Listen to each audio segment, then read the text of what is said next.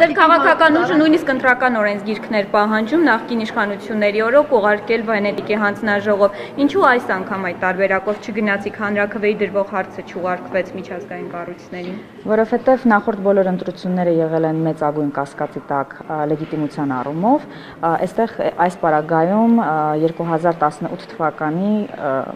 ընտրությունները որևէ կերպ չեն վիճարկվել որևէ ինստիտուտում։ Նախագահ այսօր երկու, այսինքն մեկ օրենսդրական փաթեթ արդեն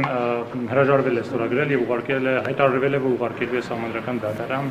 դրանց համանդրականությունը բարձելու համար, ստուգելու համար։ Վստահությունը ինչով է պայմանավորված որ այս անգամ նման կերպ չի վարվի, այսինքն այս որոշման հետ կապված։